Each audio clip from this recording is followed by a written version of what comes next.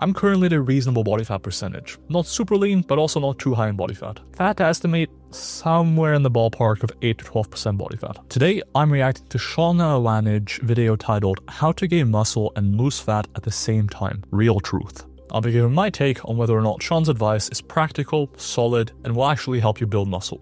I'm involved in ongoing research in hypertrophy training and I have a PhD in exercise science, so I'll be reviewing his claims from an exercise science perspective. So the million dollar question, how do you gain muscle and lose fat at the same time? Is it really possible? And if so, what is the most effective way to go about it?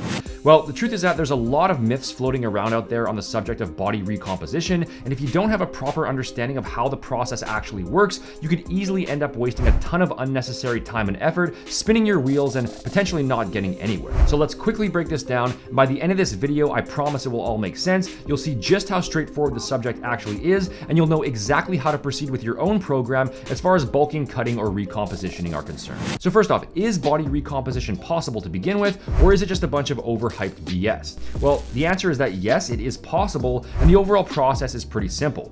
Break down stored fat through a calorie deficit, and then with a proper training stimulus in place, your body can use some of the calories from that fat along with your protein intake to fuel additional muscle growth. So it is doable. However, and this is a big however, the degree to which this will actually occur, the amount of muscle you can actually put on while also losing fat, that's gonna be highly dependent on you as an individual. So far, I am nodding along. Body recomposition, as Sean says, is absolutely possible. As he mentions, it is also highly dependent on you as an individual in a number of circumstances, and a number of factors about you. Let me give some additional context on the research. First, nearly every study in exercise science, testing out different workout protocols and seeing which one works better, instructs participants to roughly maintain their weight. And we record their body weights before the study and before the training intervention and afterwards. And nearly inevitably, they hover right around maintenance, meaning they don't gain or lose an appreciable amount of weight. But guess what? During these same studies, we observe that their body fat goes down and their muscle mass increases. And this happens not just in beginners, but also in more trained populations. To give you a more formal or eye catching example, a meta-regression by Murphy and colleagues tried to plot the relationship between how big of a deficit you were in and how that impacted your lean body mass gains across a training program. And in the studies included, when up to a 500 calorie deficit, people were still able to gain lean body mass. So not only can you clearly recomp maintenance, gain muscle and lose fat at the same time, because your body is drawing calories from fat tissue and effectively using those calories to build muscle mass. Your body can source calories endogenously as opposed to getting exogenously through food, for instance. But even in a slight deficit, you can absolutely build muscle and lose fat. That much is not really a disputable fact. In fact, we can go further and say that the average person is able to, not just a small proportion of the population. Number two, the extent to which you will be able to recomp does likely depend on a variety of factors. And the number of factors is so long, I'm not going to list them all. But as a rough concept, you can view each of these factors and how you stack up on them as determining where on the spectrum of propensity to build muscle you fall. These questions include, but are not limited to, are you currently using steroids? How good is your genetics? How long have you been lifting for? How old are you? How good is your nutrition? How high is your protein intake? How effective is your training program? Do you take the right supplements? There are literally dozens of questions like these which will altogether determine where you fall on the propensity to build muscle spectrum. And the better you stack up on that overall spectrum, the better your results will be whether you're in a bulk, in a cut, or at maintenance and trying to recomp. The average individual should be able to recomp. There are going to be cases where recomp is difficult or impossible based on how you fall within those categories. Number three, and I think this is an important one that common gym lore doesn't really observe. I don't think that how advanced you are will really determine inherently whether you can or cannot recomp. You see, most people think that you can only recomp if you're a beginner. But as you grow more advanced, if you stay at maintenance, you're not going to lose any fat and you're not going to build any muscle. However, many studies in exercise science do look at trained lifters. And even when these trained lifters stay at maintenance calories, if they follow an effective training program, they are able to gain strength and size while losing fat. So instead of advanced lifters cannot recomp, what is more likely true is that the magnitude of hypertrophy simply downshifts. As you get more trained, you grow less muscle in general. So just like you'd be gaining less muscle during a bulk, you also gain less muscle at maintenance when recomping, and so the pace of change in your physique is slow enough that it can feel like it's not working. But guess what? Once you've been lifting for a few years, even if you were bulking, you wouldn't see that much of a change anyways. Progress simply takes time, but recomping can absolutely work for more advanced individuals. And that's great news, because oftentimes staying around maintenance calories is more sustainable for many people, isn't as much of a hassle as getting into a surplus than into deficit, and oftentimes, number three, allows you to set up more sustainable and healthy habits. It allows you to focus on physical activity year round, as opposed to down regulating physical activity during a bulk to make it easier to get into a surplus, and then up regulating it massively during a deficit to burn more calories. It makes your diet more stable. You can focus on getting plenty of fiber into your diet, plenty of servings of fruits and vegetables consistently. Your dietary habits don't change a ton because you're bulking versus cutting. You can simply focus on setting up a healthy, sustainable routine. And compared to bulking and cutting repeatedly, I don't think your hypertrophy is going to be impacted much, if at all, because the research on bulking doesn't support that there's a huge benefit of bulking. Now, don't get me wrong, there's not that much research on bulking just yet, but the research that is there,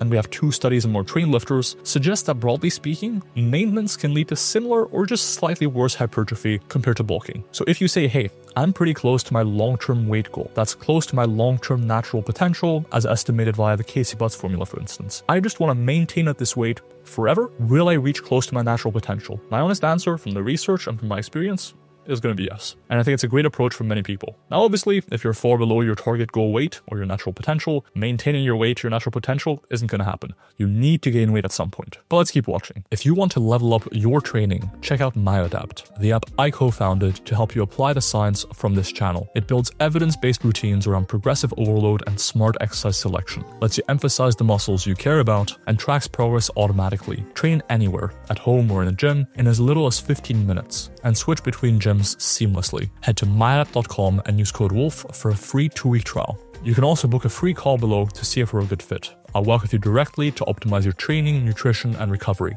Big thank you as always to Rascal Apparel for supporting the channel. You can use code WOLF for 10% off their training gear at rascalapparel.com. Anybody who just gives one sweeping answer across the board that yes, you can gain muscle and lose fat at the same time, end of story. So that's what your goal should be because everybody can do it. They're not giving you the best information because it will vary quite a bit from person to person and depend on two main factors. The first factor is body fat percentage. Fat is ultimately a stored form of energy that your body requires for survival and so the leaner you are, the less willing your body will be to divert that fat toward building new muscle tissue because at that point it's already fighting to hold on to the remaining stores. Plus, muscle also requires additional calories to be maintained after it's already built. So, for example, at 10% body fat and below, you're likely not going to be gaining any real muscle while trying to get increasingly leaner. And in fact, you might even start losing muscle at that point as you cut further. Whereas if you've spent the last eight months on a steady diet of fried mayonnaise balls and you've dirty bulked yourself up to 30% body fat, then you'll have plenty of reserves in the tank. Your body isn't in any kind of immediate survival mode at that point, and so building significant muscle while dropping fat is going to be much more realistic. And then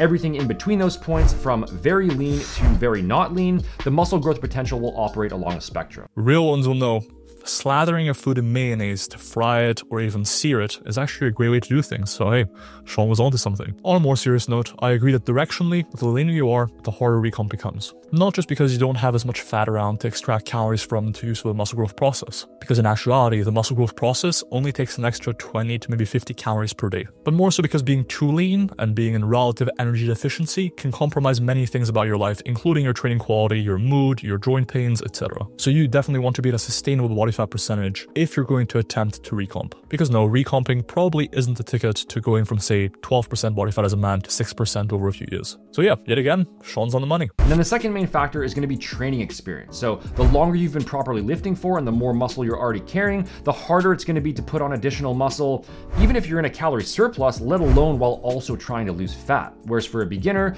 weight training is going to be a novel stimulus. It'll be treated by the body as a more serious threat, and it will react more strongly to that and be more incentivized to build new muscle as an adaptive response. And once again, this is all going to work along a spectrum. Someone who's never touched a weight before in their life, aka 95% of the comment section in TikTok fitness, those people will have the highest chances for successfully recomping. Whereas for someone with five plus years of consistent hard training under their belt, it's gonna be a lot more difficult. And then everything in between, that's gonna involve varying degrees. Hey, look at us. Sean and I, both on the spectrum, talking about the spectrum. This is uh, right up my alley. On a serious note, as I mentioned, I think training experience plays a role in terms of how much muscle we will build during recomp, bulking, or cutting, but I don't think it will determine as an on and off switch whether or not you are able to recomp. We know both from empirical findings and from basic physiology that whether you're, say, exactly at maintenance, or in a one calorie surplus, or in a one calorie deficit, doesn't switch on or off the muscle growth process entirely. Likewise, being more advanced likely doesn't work that way either. It is simply one factor in quite a multifactorial complex set of physiological processes. And I don't personally think at this stage we can say that bulking and cutting is going to be long term much more beneficial, if at all, compared to simply maintaining at a reasonable body fat percentage at a reasonable weight for an advanced lifter. Because again, the muscle growth process doesn't take that many calories, and training is fundamentally the stimulus for inducing hypertrophy. Nutrition is only really permissive of the hypertrophy stimulus, meaning that as long as you're doing things reasonably well, hypertrophy will likely occur. So this all might seem a little bit gray area right now, but stick with me because you're gonna see in a minute how it all ties together and how to actually apply it. But to sum that up, the people who will be able to recomposition with the highest degree of success by gaining the most muscle while also losing fat are going to be beginning lifters with a high body fat percentage, so either overweight or skinny fat. And then on the opposite end are going to be more advanced lifters at leaner body fat percentages, and then everything in between will produce varying results that can't specifically be quantified, not to mention that genetics are also going to play a role in this as well. And keep in mind that we're talking about natural lifters here, since pharmaceutical assistance will of course influence things too. Now, if you don't fall onto one of those two sides of the spectrum. So you're not a beginner with high body fat or an advanced lifter with low body fat. You're just kind of somewhere in the middle. You're probably wondering how to go about this because you don't know exactly what degree of recompositioning is really possible for you. However, and this is what most people get wrong on this, it doesn't actually matter in practical terms or affect how you should go about things. And the reason for that is that there's no such thing as a body recomposition program in the first place.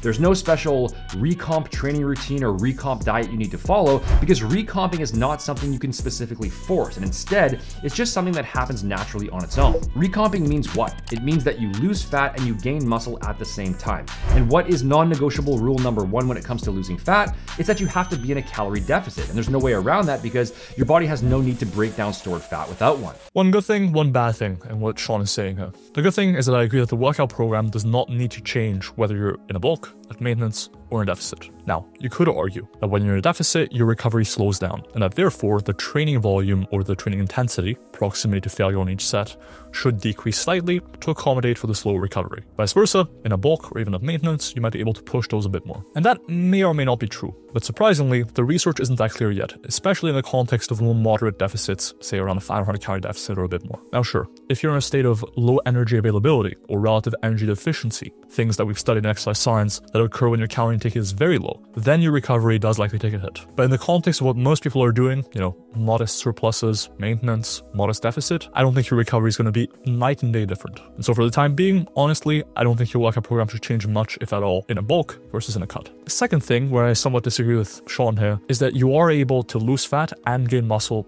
at maintenance. You do not need to be in a calorie deficit to lose fat, where when eating at maintenance, participants stay the same weight, but were able to gain muscle, suggesting they were at the same time losing fat. And the same applies to more moderate surpluses. Because again, how many calories you consume is only one factor that determines how likely you are to gain muscle and how likely you are to lose fat. This idea that you commonly hear about recomping at maintenance or God forbid, recomping in a surplus, that doesn't actually make sense because a calorie deficit has to be in place for fat to be lost. When it all comes down to it, a recomp is essentially no different from a regular fat loss phase.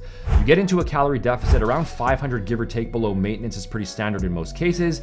You consume sufficient protein, so no less than 0.8 grams per pound of body weight daily as a minimum. If you want to fully maximize the chances of putting on muscle while in that deficit, then you can bump it up a bit higher to around one gram or more. So that's going to be the basics for your diet. You you pair that up with a proper weight training program where you're training hard with a focus on progressive overload. None of this lightweight, high rep, low rest period nonsense. Okay, just keep training in the same basic way as you always do. Throw in some optional cardio as an extra calorie burning tool without going overboard. Getting your high quality sleep. Add in a few basic supplements if they suit your needs. Real science athletics, of course. It's just a regular cutting phase you'd normally do. And then from there, depending on your individual condition in terms of existing fat stores, muscle mass, and genetics, any potential muscle that can be gained during that period will simply happen as an automatic byproduct. Okay, that's really all there is to it. A recomp is a cutting phase where additional muscle growth occurs on its own if the conditions are in place for it. This is one aspect where I disagree with Sean. As I mentioned, the research is pretty clear that even when eating a calorie maintenance, you are able to gain muscle and lose fat at the same time. I think there's a slight case of shifting goalposts or redefining what something really means here. As Sean actually defined himself earlier, a body recomposition phase is simply a phase where you're gaining muscle and losing fat at the same time. That process can occur not just in a deficit, and not just in a deficit of 500 calories like Sean is prescribing here, but rather in a variety of circumstances. And it's not that unlikely to even happen at maintenance calories, as is evidenced in the research. In fact, look at most of the lifters in your gym. If they've been there for 10, 20 years, ask them how their body weights have changed over the decades. Chances are they'll tell you, yeah, bulked initially, but now for the past several years, I've kind of just been sticking at the same weight. And guess what? They're still making slow, consistent progress. They've still gotten a bit leaner, a bit more jacked over the years. Don't get me wrong. While a large chunk of people is definitely going through bulking and cutting phases and seeing progress as a result, gaining muscle during a bulk and then losing fat during a cut, there's a very non-negligible portion of people out there, regular gym goers, even more serious gym goers, who are just maintaining at a reasonable body weight, reasonable body fat, putting on muscle, and losing fat at the same time. Is your main priority right now, whether you're overweight or skinny fat, or you're a more experienced lifter who's coming off of a bulk, go ahead and shift into that fat loss phase. Maybe you'll put on some additional muscle during that time, and maybe you won't. That's not within your control aside from just implementing a properly structured cut in general. And then once you've reached your desired level of leanness, you can reassess from there in terms of what your next goal is, whether it's to just maintain for a while or to shift into a focused bulking phase. But body recomposition in and of itself, that's not something you can specifically train or eat for. It's just something that happens automatically for some people as they lose body fat in a calorie deficit. So what's my personal summary on Sean Naliwanich? Let me check how that's actually pronounced. Let's do it in real time. Sean Naliwanich pronunciation. Actually, let me do uh, uh, let me do Google Translate for the authentic pronunciation. Naliwanich. Let's see. Nailwenage. Do I trust it? It. Sean Nelewanich or Nailwinich. Not sure which one it is. What do I think about his advice overall and his advice in this video? I think Sean's advice is usually spot on. There are exceptions. I think his advice tends to err on the side of being simple, but at the expense of nuance and some degree of accuracy sometimes. I think the average lifter listening to Sean will, on average, make more good training and nutrition decisions than bad training and nutrition decisions. So, I'm personally a fan of Sean's. I certainly don't agree with everything on him, and I'm sure we have differences on training volume, for example, or the stretch, I wouldn't be surprised, but I do think he's generally solid. So what do you think? Is Sean a good source? Was I fair in my rebuttals? Let me know down below. I hope you enjoyed this video, and I'll see you guys in that next one. Peace.